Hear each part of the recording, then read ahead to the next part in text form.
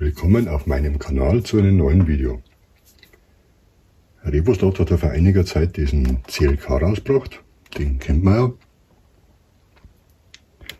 Fährt sich super schön, tolles Fahrzeug. Und vor Jahren hat es den von Linko mal gegeben. Ich glaube damals, keine Ahnung, 25 Jahre oder so. Und ich habe jetzt eine alte Ninko-Karosse gefunden, also eben diese. Und von Slotted habe ich so ein HS2 Fahrwerk noch gehabt. Das habe ich jetzt eingebaut mit diesen Haltern her. Man sieht es. Ich blende mal ein paar Fotos ein.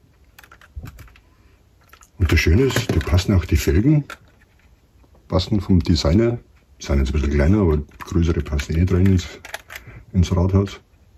Aber dasselbe Design. Und hier zum Vergleich die beiden Autos.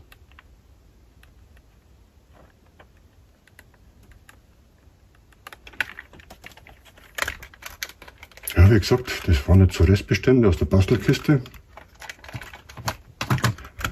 Den haben wir jetzt zusammengebaut. Bin jetzt 10 Runden gefahren. Das werden wir jetzt gleich sehen. Fährt sich, ja, richtig, schaut richtig toll. Ein paar Feinheiten fehlen noch. So wie hier, da sind drei so Inlays. Und da auch. Auspuffattrappe brauche ich noch. Das war damals im Chassis mit einbaut. Alles kommt noch.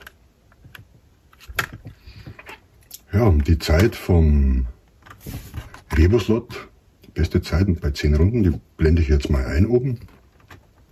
Und jetzt mache ich einfach mal dasselbe mit diesen hier. Lasst man es einfach mal zum Spaß. Ich habe jetzt keine andere Referenz von der Zeit her und nehmen wir einfach mal den hier. Schauen wir mal.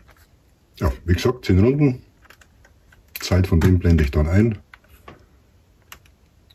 Und dann schauen wir weiter. Bis gleich.